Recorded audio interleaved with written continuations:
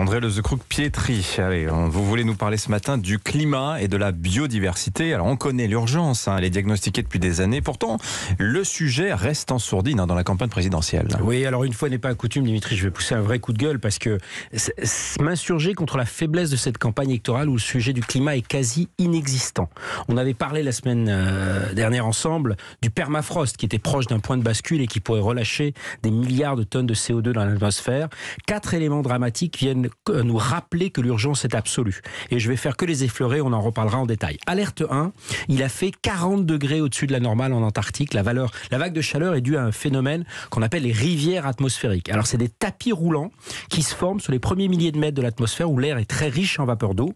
Le vent pousse ces masses d'air depuis la Nouvelle-Zélande, l'Australie jusqu'à l'Antarctique. Alors c'est très fréquent sur la côte ouest des États-Unis. On a pu le voir en France en descente dans les Pyrénées avec ces énormes chutes de neige qu'on a connues, mais jamais avec cette ampleur. Et en plus de ça, la banquise de l'Antarctique a aujourd'hui une superficie la plus petite enregistrée depuis le début des mesures, moins de 2 millions de kilomètres carrés. Alors, euh, alerte 2, c'est un cercle vicieux qui se passe au pôle Nord. C'est que la hausse des températures fait fondre les glaces, et comme la glace réfléchit le soleil, sa disparition entraîne une absorption beaucoup plus grande de la chaleur solaire, et donc une hausse des températures.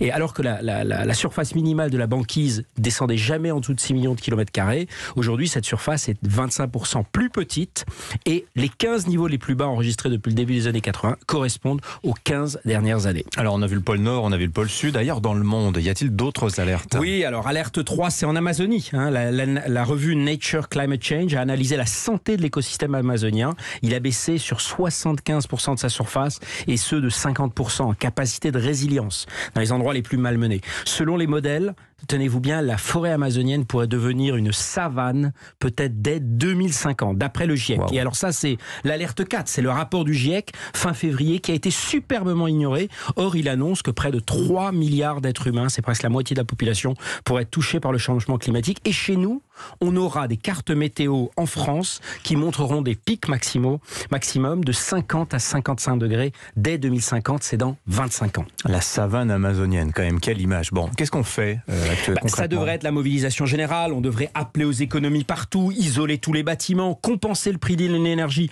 que pour ceux qui ont vraiment du mal à boucler leur budget et non pour toutes les classes aisées, investir massivement dans la recherche, y compris dans la fusion nucléaire, dans l'hydrogène vert pour le stockage, réduire la bureaucratie pour son installation solaire. Est-ce que vous avez déjà essayé, Dimitri, de vous connecter, de faire vous-même votre électricité solaire? Non. On fait tout pour vous empêcher, pour que vous restiez accroché au réseau.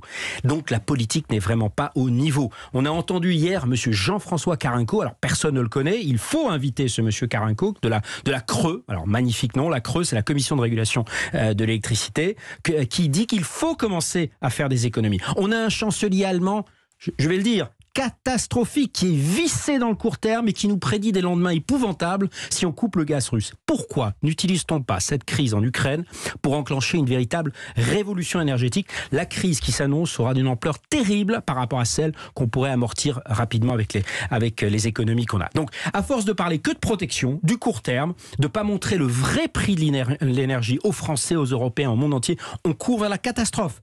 Beaucoup nous le, nous, nous le prédisent, mais on a, pas, on a besoin de courage, on a besoin de vérité. On n'en a pas. Il nous faut un Churchill qui, face à l'invasion nazie, n'avait que du sang et d'alarme à promettre et que tous les concitoyens ont suivi comme un seul homme. La guerre en Ukraine et notre dépendance au gaz russe, notre addiction aux énergies fossiles peut être l'occasion d'une mobilisation générale. Mesdames et messieurs les politiques, soyez à la hauteur. les gens font déjà des économies. André, dans le Figaro, vous lirez ça. Il y a un salarié de Haute-Loire, il raconte avoir lâché sa Clio pour aller au travail en cheval. Voilà, ça c'est un bel effort. D'ailleurs, que proposent les candidats The Shift Project? Je le signale, le think tank de Jean-Marc Jancovici, qui est un grand monsieur et hein, qui connaît très très bien le sujet que vous venez d'aborder.